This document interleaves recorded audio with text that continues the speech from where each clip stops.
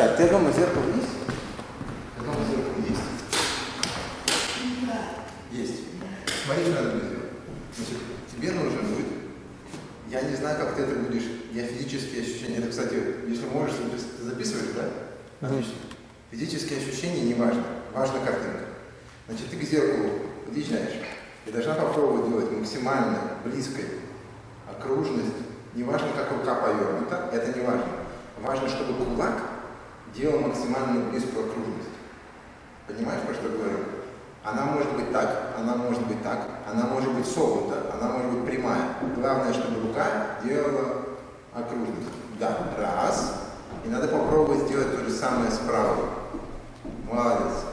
И вот это надо будет попробовать поделать подольше. Почему? Потому что, смотри, как мы попробуем.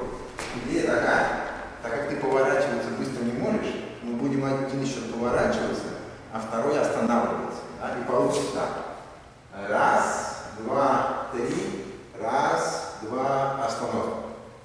Раз, два, три, раз, два, остановка.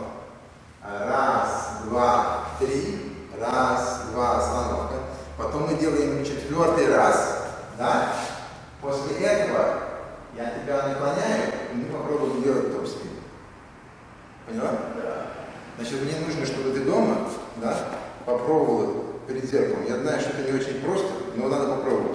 Да? Отвод руки в сторону, максимально большой круг, закрутила. И по очереди другой. Правильно, молодец. И теперь это правой рукой. Молодец. И это нужно поделать, чтобы ты могла это делать с закрытыми глазами. Поняла? Да, чтобы да. ты думал, как это делать.